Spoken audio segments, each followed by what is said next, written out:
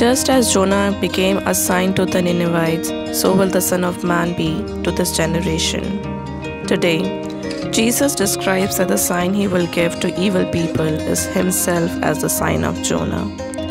Just as Jonah became a sign to the Ninevites, so will the Son of Man be to this generation.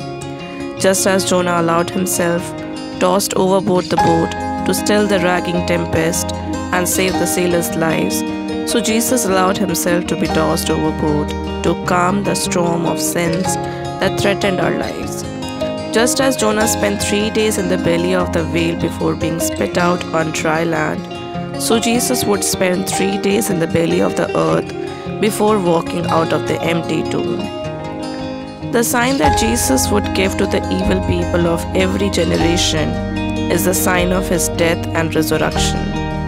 His death, freely accepted, is a sign of God's incredible love for us. Jesus gave his life to save our own. His resurrection from the dead is the sign of his divine power. This is the most powerful and moving sign ever given. But Jesus is the sign of Jonah in yet another sense. Jonah was an icon and agent of conversion. At his preaching, 40 days more, and Nineveh shall be overthrown.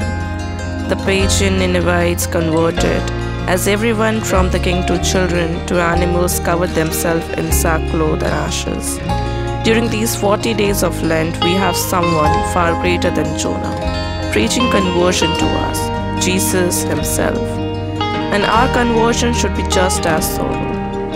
Saint John Chrysostom writes in the person of Christ For Jonah was a servant, but I am the master.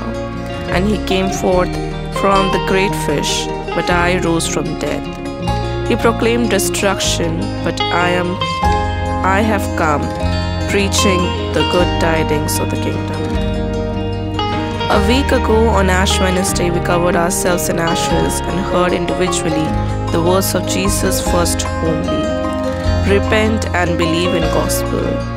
The question for us is have we responded yet with deep conversion like the Ninevites and embraced the gospel?